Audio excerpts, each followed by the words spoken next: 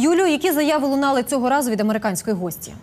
Доброго вечора, студія. Е, Зустріч із Самантою Павер із представниками громадського активу та молоді все ще триває у жовтневому палаці. Розпочалася вона якихось півгодини тому. Вона вже встигла зробити кілька гучних заяв, але перед цим хочу нагадати нашим глядачам, чим же така важлива е, для України Саманта Пауер. Це посол США в Раді безпеки ООН, і вона відома своїми словесними протистояннями із представником Росії Чуркіним під час засідань Ради безпеки ООН, починаючи з березня минулого року, коли почалася анексія Криму. По українському питанні таких засідань було вже 33. І ось невеличкий фрагмент із е, архіву е, з одного з таких засідань.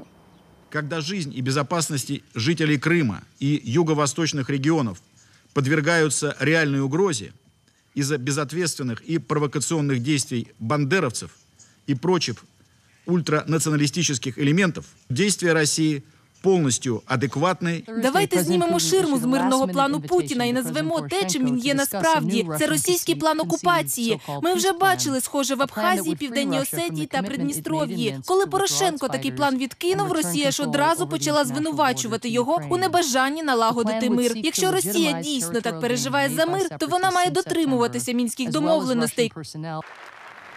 Саме в Україні Павер займатиметься відкриттям спеціального офісу з підтримки та виконання мінських домовленостей. Ну а нині в Києві вона ще раз підкреслила, що вплинути на Росію в рамках рішень е, Радбезу ООН все ще неможливо, адже Росія е, постійно користується своїм правом вето на будь-яку резолюцію. Так само неможливо змусити її говорити правду. Однак Саманта Пауер певна, Путіна все ж можна стримати за допомогою поглиблення санкцій і не тільки з боку Сполучених Штатів Америки.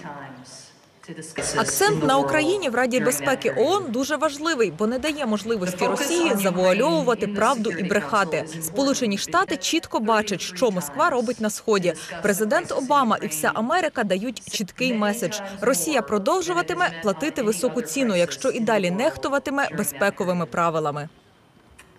Зустріч із Самантою Пауер у жовтневому палаці все ще триває. Зараз вже почалася сесія питань-відповідей, і більше про це ми вже розповімо о 22-й студії.